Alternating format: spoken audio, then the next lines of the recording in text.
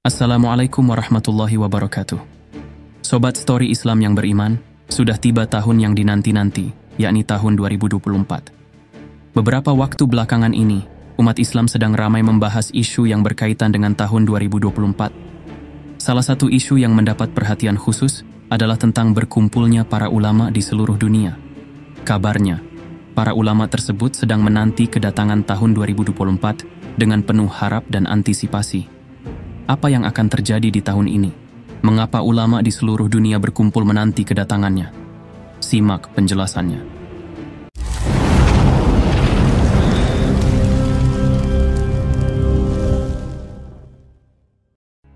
Tahun 2024 kemungkinan besar akan menjadi tahun momentum yang krusial bagi umat Islam. Menurut isu yang beredar, para ulama dari berbagai penjuru dunia kini tengah menanti kemunculan seorang mujadid atau pembaharu agama. Kabar ini didasarkan pada hadits Rasulullah Shallallahu Alaihi Wasallam yang mengisyaratkan bahwa seseorang yang akan memperbaharui urusan agama akan diutus kepada umat setiap akhir 100 tahun. Hadits tersebut yang diriwayatkan oleh Abu Hurairah radhiyallahu anhu menyatakan bahwa Allah akan mengutus orang yang memperbaharui urusan agama pada setiap akhir 100 tahun. Namun, apa yang dimaksud dengan pembaharuan atau perbaikan ini? Mujadid dalam konteks ini, seseorang yang diklaim membawa pembaharuan atau perbaikan atas kerusakan yang terjadi pada urusan agama.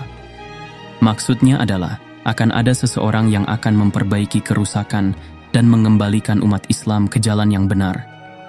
Dengan hadirnya sosok mujadid ini, akan memperbaiki perilaku yang menyimpang dalam agama Islam, memperbaiki dan membersihkan Islam dari praktek bid'ah, kurafat, dan berbagai kesesatan dan kemaksiatan yang merajalela. Mujadid biasanya muncul dari kalangan religius, seperti kalangan ulama, orang alim dan cendikiawan muslim. Contohnya, seperti sosok cendikiawan muslim Imam Ash-Syafi'i dan Imam Ghazali, yang dianggap oleh mayoritas umat muslim adalah sebagai sosok mujadid. Dalam hadis riwayat Abu Hurairah radhiyallahu anhu, Nabi Muhammad sallallahu alaihi wasallam bersabda, Sesungguhnya Allah mengutus untuk umat ini pada setiap pengunjung seratus tahun seseorang yang memperbaharui agamanya.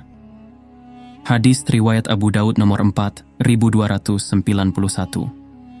Ketika kemaksiatan merajalela, Allah subhanahu wa ta'ala akan mengutus para ulama di setiap abadnya untuk mengembalikan umat Islam ke jalan yang benar menjalankan sunnah-sunnah yang sudah pudar dan inilah merupakan salah satu keistimewaan umat Rasulullah Sallallahu Alaihi Wasallam. Namun para ulama sepakat bahwa mujadid adalah orang-orang pilihan yang memenuhi syarat dan kriteria tertentu. Pada tahun 2024, para ulama seluruh dunia sepertinya menaruh harapan besar terkait munculnya sosok pembaharu agama. Bagaimanapun, perhitungan akhir 100 tahun ini memiliki berbagai tafsiran. Beberapa ulama meyakini bahwa perhitungan dimulai sejak hijrah Rasulullah Sallallahu Alaihi Wasallam dari Mekkah ke Madinah. Namun, ada juga pandangan yang mengaitkan 100 tahun tersebut dengan keruntuhan kekhalifahan Islam terakhir, yaitu kekhalifahan Utsmaniyah pada tahun 1924. Secara matematis, apabila terhitung 100 tahun dari 1924, maka akan tepat jatuh pada tahun 2024. Hal ini yang menghubungkan akan munculnya mujadid di tahun tersebut. Beliau bahkan menyampaikan keyakinannya bahwa pada tahun 2024 akan terjadi syaifatul islami atau kebangkitan Islam. Meskipun pandangan ini mungkin menjadi kontroversial, beberapa ulama menggambarkan bahwa Indonesia bisa menjadi pemantik kebangkitan Islam global.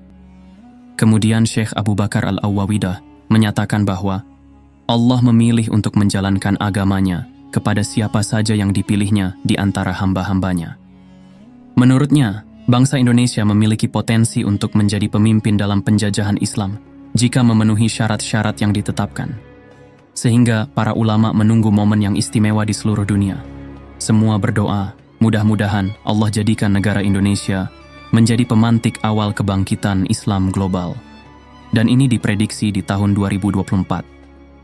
Beliau menegaskan bahwa Rasulullah pernah menyebutkan bahwa pembawa kejadian akhir zaman akan datang dari arah timur dengan bendera-bendera hitam.